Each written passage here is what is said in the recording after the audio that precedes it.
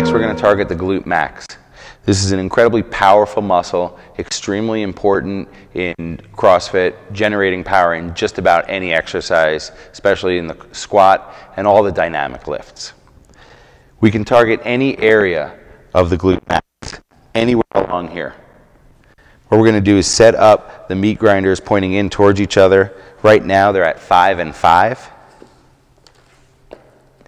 Slide it underneath